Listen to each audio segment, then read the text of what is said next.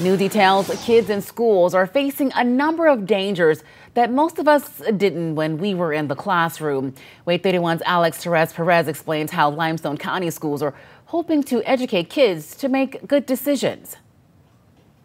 It's definitely a pressing issue with drugs and vapes and alcohol and everything. Ashlyn Mullins knows what she needs to watch out for but she didn't know about a hidden danger that's starting to impact kids fentanyl.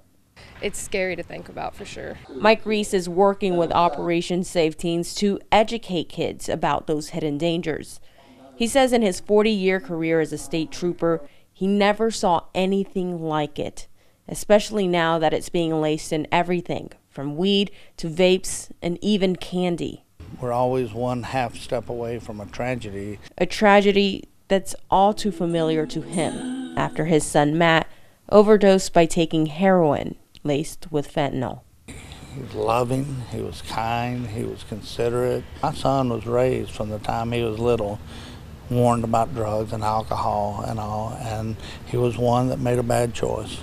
And then he the choices controlled him after that. Mike hopes by having this tough conversation, he can help prevent at least one kid from making those same bad choices. We want them to not ever die. We don't want them to overdose.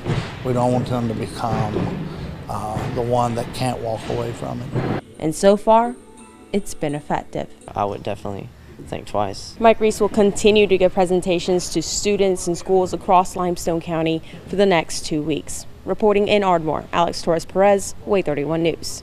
This was the first year Operation Save Teens spoke to kids at Ardmore High School. The principal says they'll continue to have the conversation. He also urges parents to talk to their kids about making right choices.